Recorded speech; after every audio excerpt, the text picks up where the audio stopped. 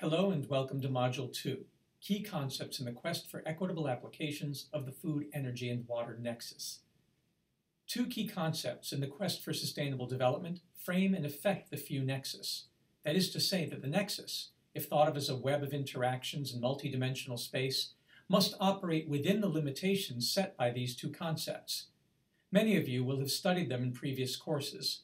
As a nexus practitioner, you need to see them as bounding bodies and figure out policies and maneuvers that avoid spillage beyond these boundaries to sustainability.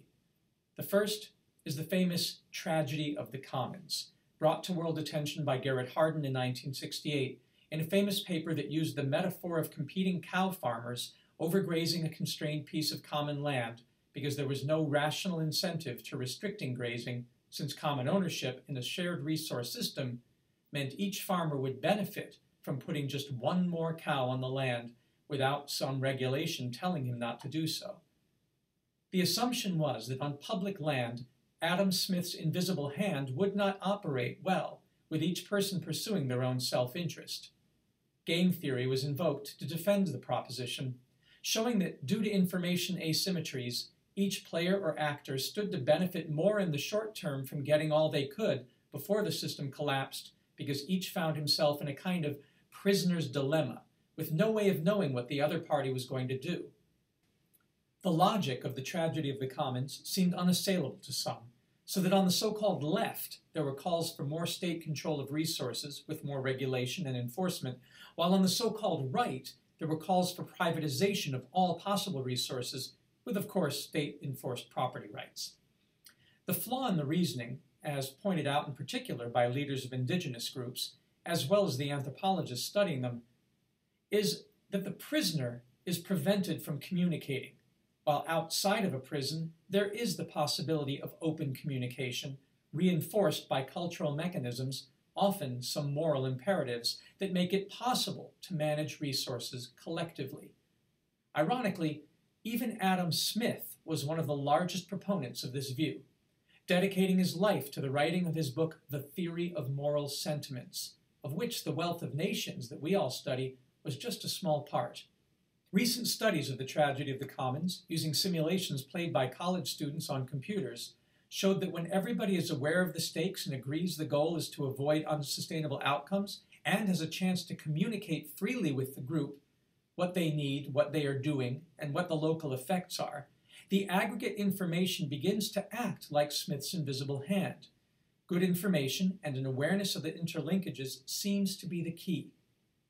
So it could be argued that the food energy water nexus is a conceptual tool that acts ultimately as a cultural mindset, operating quite like Smith's theory of moral sentiments or like the taboos put in place by traditional societies.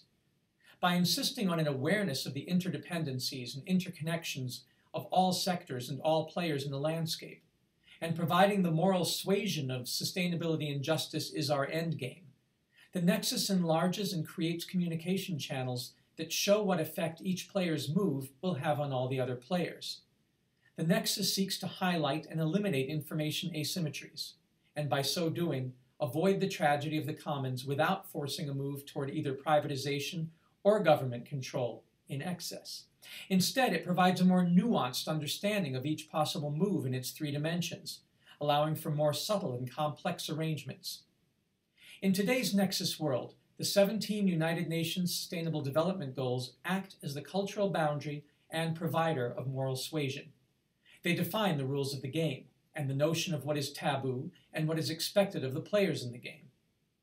A brief review of the SDGs shows that food, energy, and water, and the impacts of any tragedy in providing them for our common future, to use the title of Barry Commoner's seminal book on the subject, which helps frame the moral imperative, stitch together all of the goals set before humanity this century. Goal 1 End poverty in all its forms everywhere. That seems ambitious, but if we understand the chief forms of poverty resulting from an inability to obtain the necessary amounts of clean and healthy food, energy, and water for the reproduction of the household, and we consider that the minimum amounts of food and water required for a dignified life can theoretically be obtained through a closed recycling loop and powered through efficient used, efficiently used renewable energy systems, the end of these forms of poverty is certainly conceivable. Opportunity poverty is another issue, but one that addressing the fundamental forms can also help address. Goal two, end hunger, achieving food security and improved nutrition and promote sustainable agriculture. This goal is well within the scope of the Nexus. Goal three, ensure healthy lives and promote well-being for all at all ages. Well, insofar as healthy food and clean water promotes healthy lives and clean renewable energy eliminates the grave threats of air and water pollution, this one is also within our domain, leaving medical knowledge and treatment as an equity issue. Goal four, ensure inclusive and equitable quality education and promote lifelong learning, lifelong learning opportunities for all. This goal is more political in nature, but Yale political economist James C. Scott, in his book Seeing Like a State How Schemes to Improve the Human Condition Have Failed, has argued that agricultural systems based on monocropping and survival schemes that silo knowledge are responsible for dumbification. The argument is that self sufficient populations engaged in a permacultural polycropping landscape and in hunting and gathering learned to read the landscape as a complex environment and were already tuned to nexus style thinking and education because their lives depended on an understanding of complex interrelationships in ecological systems. Only with extreme division of labor and what Marx called the alienation of labor came educational systems that rewarded specialization at the expense of holistic understanding. A quality lifelong education can start with learning how to apply the nexus to all areas. Goal 5 achieve gender equality and empower all women and girls. It can be argued that given that provision and maintenance and preparation of food and water have been traditionally female domains, along with fetching and utilizing domestic energy sources, the few nexus can be a tool of empowerment for women. Goal 6 Ensure availability and sustainable management of water and sanitation for all. This goal is addressed specifically by the few nexus. Goal 7 Ensure access to affordable, reliable, sustainable, and modern energy for all. Again, this is a goal implicit in our nexus. Goal 8 Promote sustained, inclusive, and sustainable economic growth, full and productive employment, and decent work for all. The nexus reveals opportunities to create sustainable economic growth and suggests different jobs, many of them new in the food, energy, and water nexus sectors, that can provide productive employment. Whether the insight, insights it offers leads to greater inclusion is, of course, a political decision. Goal 9 Build resilient infrastructure, promote inclusive and sustainable industrialization, and foster innovation. Because the few nexus is tied to industrial ecology and the creation of overlapping, interconnected, cradle to cradle infrastructure, it holds great promise for achieving this goal. Goal 10 Reduce inequality with and among countries. Well, one of the premises of the Nexus is that through its lens, we will be able to ensure provision of adequate nutrition and useful energy and water, which, if achieved, will help reduce inequalities, at least on the existential level. Unequal access to luxury goods or non essential goods may remain, but their very definition contains the implicit assumptions about inequality as their value and the cost of obtaining them is defined culturally rather than biologically. In other words, we don't need them necessarily. Goal 11 make cities and human settlements inclusive, safe, resilient, and sustainable. Well, the Few Nexus helps us achieve this goal by helping to ensure food, energy, and water security. The assumption is that with our basic needs met, humans are more likely to engage in peaceful trade, since they can't be threatened with starvation or water and energy shortage. Goal 12 ensure sustainable consumption and production patterns. This is firmly within the purview of the food, energy, and water nexus, especially when coupled with an understanding of how industrial ecology systems can mimic natural ecosystems and produce zero waste. Goal 13 take urgent action to combat climate change and its impacts. Let's assume that when we shift to closed loop systems of production and consumption, and grow, transport, process, consume, and dispose of food and organic materials in a sustainable way, most of the drivers of climate change will be addressed and most of the impacts mitigated. It is agreed that industrial monocropping agriculture is the largest user of fossil fuels and the largest causes of deforestation, soil erosion, land degradation, and pesticide and fertilizer runoff, fires and flooding, and greenhouse gases, water use, and water contamination. So the few nexus has direct relevance to this goal. Goal 14 Conserve and sustainably use the oceans, seas, and marine resources for sustainable development. This is arguably a goal in streamline with the few nexus. Goal 15 Protect, restore, and promote sustainable use of terrestrial ecosystems, sustainably manage forests, combat desertification, and halt and reverse land degradation and halt biodiversity loss. As explained above, this is within the crosshairs of the nexus. Goal 16 promote peaceful and inclusive societies for sustainable development, provide access to justice for all, and build effective, accountable, and inclusive institutions at all levels. With the food, energy, and water nexus used to solve the three pillars of survival, only the provision of adequate shelter becomes the problematic that must be dealt with by inclusive institutions. Of course, land speculation and land ownership and redistribution and property values retain their potential for conflict as they have for millennia. But finding ways through the nexus to make it so that large land holdings and the fight for 40 acres and a mule become less urgent. Vertical farming through hydroponics, aeroponics, and aquaponics is allowing creative food production in urban and suburban built environments as well as rural landscapes at a time when distributed energy systems like solar and wind and biogas power are emerging to end the monopoly of centralized power production, enabling a more inclusive society to emerge on smaller plots of land. Goal 17 Strengthen the means of implementation and revitalize the global partnership for sustainable development. Well, one of the key strengths of the Nexus philosophy is that it implies partnerships, since specialists in each domain now need to communicate and create multidisciplinary interventions. So, by its very essence, the few nexus and its way of thinking strengthens the means of implementation. Now, each of these goals creates lattices in our collective cultural framework that provide connection points holding the moral fabric of sustainable development together. By agreeing that these goals are our drivers and that we hold them in common purpose, the implementation of the few nexus as a way to reach them helps prevent any one actor working on a goal in cross purposes from another, stops them from disrupting or impeding the goals of the others. When the use of any individual shared resource, viewed as a contested slice of a limited pie, has the potential to cause conflict, a nexus approach reveals ways to maximize the utility and mutual benefits of other resources from other pies that impact the resource in question and helps us to find win win win strategies that encourage more rational use and planning, and by eliminating deadweight losses and channeling resources back into the loop, may actually grow the pie. This is the promise of the plenitude approach of industrial ecology that proper application of the nexus implies. In this way, we avoid the tragedy of the commons. Now, besides the tragedy of the commons, which requires vigilance as well as a moral imperative supported by good communication and understanding of the linkages, sustainability and justice demand we operate within another constraint to the limits of growth. These limits are embodied in the concept of the ecological footprint. Ecological footprint analysis emerged in 1992, developed at the University of British Columbia by Dr. William Rees and Dr. Mathis Wackernagel. As defined by the Global Living Project, quote, it estimates how much of Earth's productive land and sea is used to produce the food, materials, and energy that we consume and to assimilate our wastes, end quote. Twenty years earlier, the Club of Rome, led by Donella Meadows, published a landmark study called The Limits to Growth.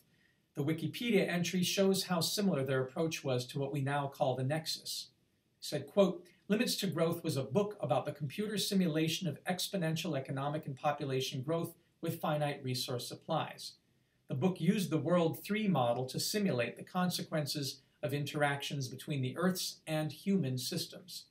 The original version presented a model based on five variables world population, industrialization, pollution, food production, and resources depletion.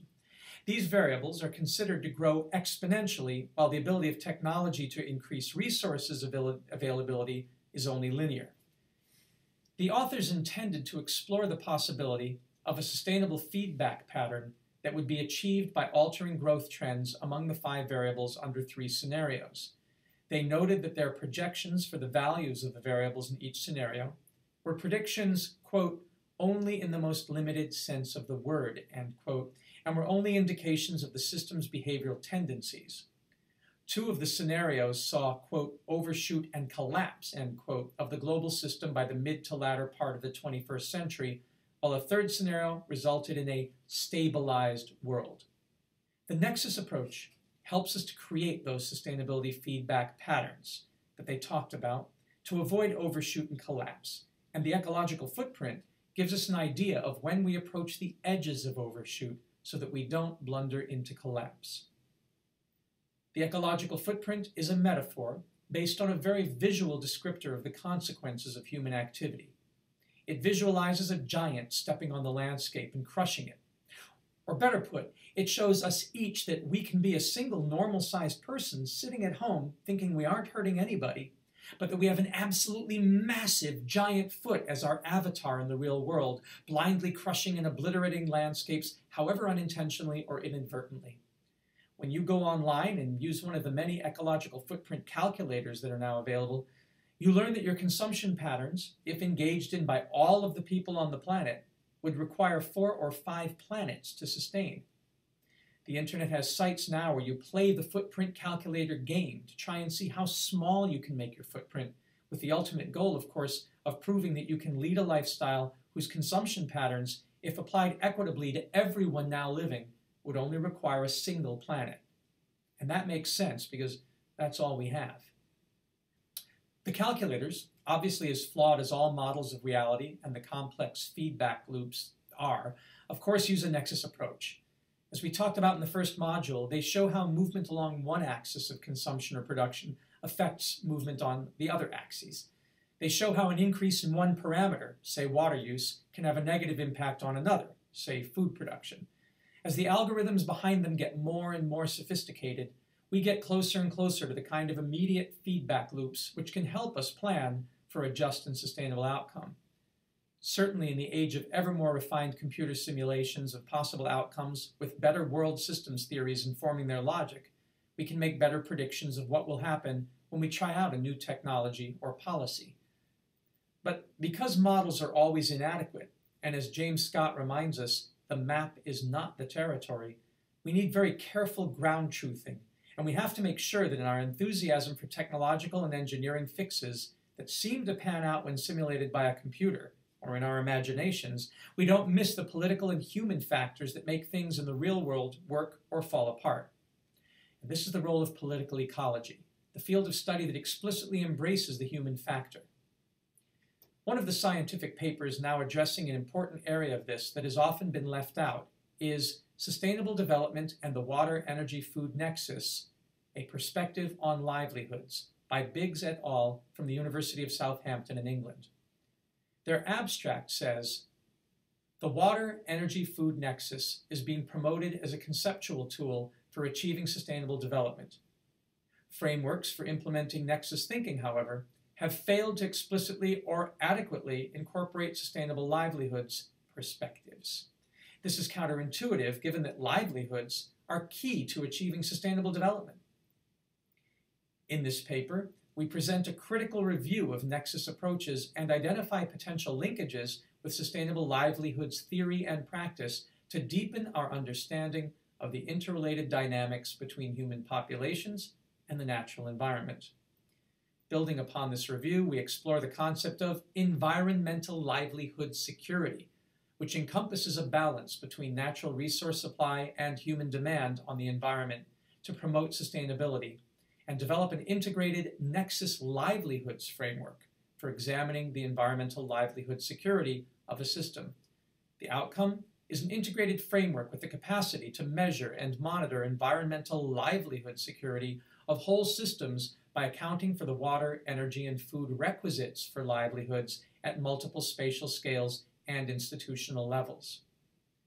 We anticipate this holistic approach will not only provide a significant contribution to achieving national and regional sustainable development targets, but will also be effective for promoting equity amongst individuals and communities in local and global development agendas.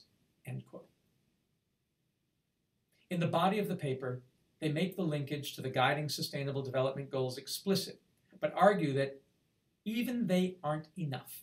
They say, quote, the water energy food nexus has become central to discussions regarding the development and subsequent monitoring of the Sustainable Development Goals. However, while all of the proposed 17 SDGs also resonate with the concept of sustainable livelihoods, the term livelihoods is not mentioned anywhere in current documentation.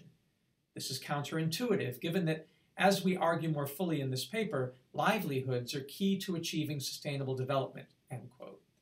And what do they mean by livelihoods? Broadly speaking, they tell us, approaches to sustainable development have focused on top-down quantitative indicators based on scientific expertise and have a tendency to measure progress at national, regional, and global scales. Conversely, sustainable livelihood approaches have tended towards more bottom-up qualitative analyses of data obtained at household, community, and local levels. That's the research, by the way, that I'm involved in here at the Patel College for Global Sustainability. That's why I work with home biogas and household solar and uh, vertical aeroponics growing systems. To continue, they say, sustainable livelihood approaches have evolved from shifts in perspectives on poverty, participation, and sustainable development. And they quote Sen 1981, Chambers and Conway 1982. And in 1987, the World Commission on Environment and Development used the term sustainable livelihoods for the first time in discussions on resource ownership, basic needs, and rural livelihood security. Nexus thinking is advocated as an advance on current and often sector specific governance of natural resource use. Current Nexus framings are often focused on macro level drivers of resource consumption patterns. However, larger scale extraction and consumption of natural resources may lead to depletion of natural capital stocks and increased climate risk without an equitable share of the benefits. So, this is the dimension that sits at the heart of the true nexus between food, energy, and water, and is the most politicized and hence often ignored. This is the dimension that creates the most uncertainty when it comes to using the nexus to reach our sustainable development goals. It was argued by Dr. Robert Bullard, the African American father of the environmental justice movement, who is now Distinguished Professor of Urban Planning and Environmental Policy in the Barbara Jordan Mickey Leland School of Public Affairs at Texas Southern University in Houston, that almost all environmental issues are really justice issues. If our guiding moral principle is do no harm, and we are not allowed to have a negative impact on any community, then we would definitely approach the nexus in an equitable way because we would add the social dimension to our considerations of food, water, and energy sustainability. The livelihoods of all people would matter, and we would be forced to think from the bottom up as much as we do from the top down. Human tendencies to exploit one another and to marginalize different groups may be the most difficult part of achieving the gains and seeing the opportunities provided by the food, energy, water nexus. We can only hope in these contentious and dangerous times that the next generation of planners and policymakers and engineers includes social and environmental justice in the mix whenever they look for solutions, creating liberty and justice for all.